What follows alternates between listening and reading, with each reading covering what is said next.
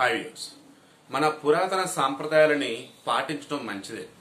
కానీ ప్రాణాపాయ స్థితిలో ఉన్నప్పుడు ఏది అత్యవసరమో దానిని మాత్రమే ఫాలో అవ్వాలి తప్ప కొంచెం లేట్ అయినా పర్వాలేదులే అన్నది మాత్రం ఫాలో కాకూడదు. ఏది? ప్రాణాపాయ స్థితిలో ఉన్నప్పుడు. ఇదిగో ఇప్పుడు ఛత్తీస్గఢ్లో ప్రాణాపాయ స్థితిలో ఉన్నటువంటి ఓ వ్యక్తికి సంబంధించి వాళ్ళు నమ్మినటువంటి వైద్యం ఏదైతే ఉందో దానినే చేసుకుంటా కూర్చున్నారు. ఇంతలో ప్రాణం కష్టంగా మారింది. ఆ ప్రాణాన్ని బ్రతికించాలని ఆసుపత్రి శరణ్యం అనుకున్నారు వన్ నాట్ ఎయిట్కి ఫోన్ చేశారు. అంబులెన్స్ వచ్చింది. ఆసుపత్రికి పట్టుకెళ్ళారు. అప్పటికే చనిపోయాడని చెప్పేసి వైద్యులు చెప్పారు. అసలు ఏం జరిగింది? ఎక్కడ అన్నప్పుడు ఛత్తీస్గఢ్ రాష్ట్రం సర్గుజా జిల్లా లఖన్పూర్ తాలూకా ముత్కి విలేజ్.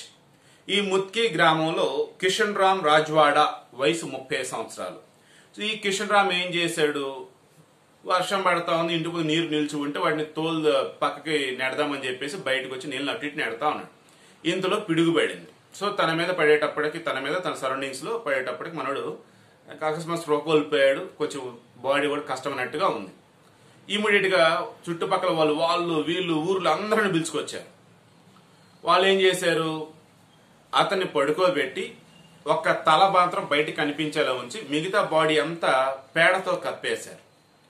చూశారు చూశారు చూశారు. ఇక నార్మల్ మూడికి రావట్లే. ఇక భయం వేసి అప్పుడు వన్ నాట్ ఎయిట్కి ఫోన్ చేస్తే వాళ్ళు వచ్చి చూసి ఈ గా ఆసుపత్రికి పట్టుకెళ్ళారు ఆసుపత్రి పట్టుకెళ్ళేటప్పటికి ఏమైంది? కష్టమండి అని చెప్పారు. ఎక్కడ? ఉదయపూర్ ఆసుపత్రి వాళ్ళు. సో కన్క్లూజన్ స్టార్టింగ్ చెప్పిందే మరలా చెప్తున్నా. నార్మల్గా చేయటం వేరు. కొద్ది రోజులైనా పర్వాలేదు అన్నట్టుగా చేయటం వేరు. అప్పటికప్పుడు ప్రాణం నిలుపుకోవాలన్నా అప్పటికప్పుడు ప్రాణాపాయం నుంచి బయటపడాలన్నా ఖచ్చితంగా ఆసుపత్రే శరణ్యము. ఇది ఖచ్చితంగా గుర్తుంచుకోండి. మతం ఏదైనా ప్రాంతం ఏదైనా చికిత్స ఏదైనా ప్రాణాపాయ స్థితిలో ఉన్నప్పుడు మీరు ఫస్ట్ ఎయిడ్ చేసి ఇమీడియట్గా హాస్పిటల్ పట్టుకెళ్ళండి.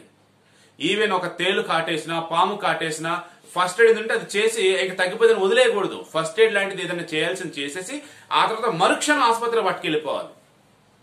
ఇది ప్రస్తుతం ఖచ్చితంగా ప్రతి ఒక్కరు తెలుసుకోవాల్సిన విషయం ఫాలో అవ్వాల్సిన విషయం. అందుకే చెప్పా. అన్యాయంగా పాపం ఒక మనిషిని ఆవు పెడితే కప్పేసి తగ్గిపోయిద్దిలే తగ్గిపోయిద్ది అంటూ బాగా డిలే చేశారు. నిజంగానే ప్రాణం కూడా గాల్లో కలిసిపోయింది. చాలా బాధేస్తుంది నాకు.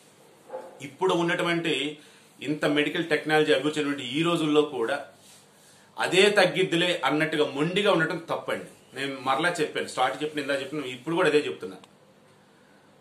మన సిస్టమ్ మనం ఫాలో అవుదాం but there is limit for each and everything అండి. రోజు ఫాలో అవటం వేరు.